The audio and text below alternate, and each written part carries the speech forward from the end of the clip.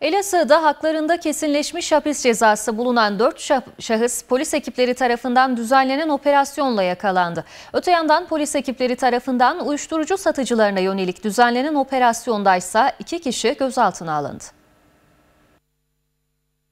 Elazığ Cumhuriyet Başsavcılığı koordinesinde İl Emniyet Müdürlüğü, Asayiş Şube Müdürlüğü aranan kayıp şahıslar büro amirliği tarafından kesinleşmiş hapis cezası olan şahısların yakalanmasına yönelik çalışma gerçekleştirildi. Yapılan çalışmalarda hırsızlık suçundan 15 yıl, hırsızlık suçundan 13 yıl 3 ay, uyuşturucu madde kullanmak, kabul etmek, bulundurmak, hükümlü veya tutuklunun kaçması suçlarından 11 yıl 9 ay, hırsızlık suçundan 10 yıl kesinleşmiş hapis cezası olan toplam 4 şahıs tespit tespit edilerek yakalandı. Emniyetteki işlemleri tamamlanan şahıslar çıkarıldıkları mahkemece tutuklanarak cezaevine gönderildi. Ayrıca devam eden çalışmalarda Ulukent Mahallesi Hüseyinlik mevkii kahveler bölgesinde meydana gelen ateşli silahla kasten yaralama olayının faillerinin yakalanmasına yönelik yapılan çalışmalarda iki şüpheli şahıs olayda kullanıldığı değerlendirilen bir adet ruhsatsız tabanca ve tabancaya ait iki adet fişekle birlikte yakalandı. Şahıslar hakkında adli işlemlere başlandı. Öte yandan Cumhuriyet Cumhuriyet Başsavcılığı koordinesinde İl Emniyet Müdürlüğü Narkotik Suçlarla Mücadele Şube Müdürlüğü tarafından uyuşturucuyla mücadele kapsamında sokak satıcılarına yönelik çalışma gerçekleştirildi. Çalışmalar çerçevesinde iki şahsa yapılan üst ve ikamet aramasında 6 parça halinde 1 kilo 311,17 gram esrar ve 1 adet hassas terazi ele geçirildi. Şüpheliler uyuşturucu madde ticareti yapmak suçundan gözaltına alındı. Şahıslar emniyetteki işlemlerinin ardından adli makamlara sevk edildi.